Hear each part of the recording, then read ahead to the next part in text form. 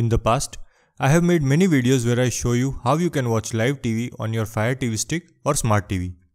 But what if you don't have a Fire TV stick? Is it possible to watch live TV on your computer?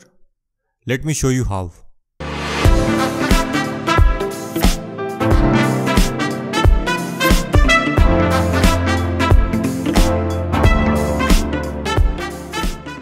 First of all, open a browser of your choice.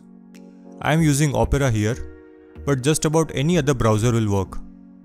Now type in the following URL exactly as shown on the screen. I will also leave this link in the description below. Once the web page opens, scroll down to the downloads section.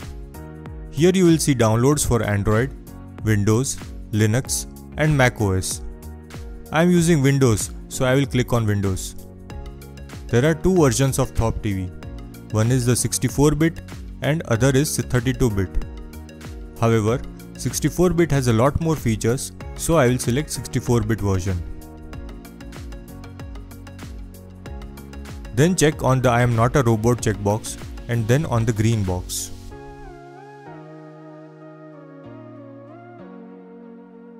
This should start the download of Thop TV. Once the download is complete, install the application. Click on Run. Click on I agree. Select Next. Choose the default path and click Install. After the install completes, click on Finish. This will launch Thop TV.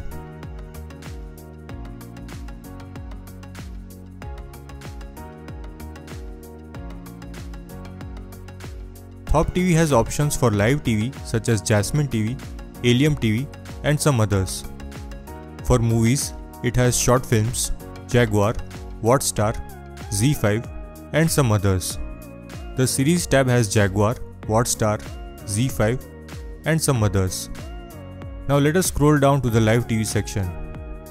As you can see, Jasmine TV is Jio TV and Allium TV is Airtel TV. Click on watch now to see all the channels available under Jasmine TV.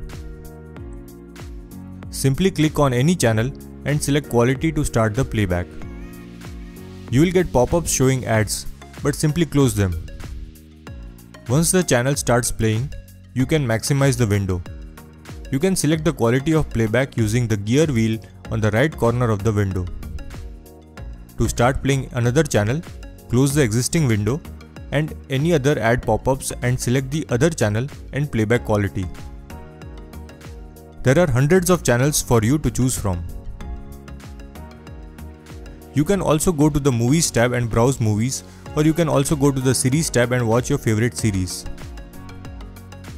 So that's it for this video. If you found this video useful, please don't forget to hit the like button and subscribe to my channel for more awesome tech videos.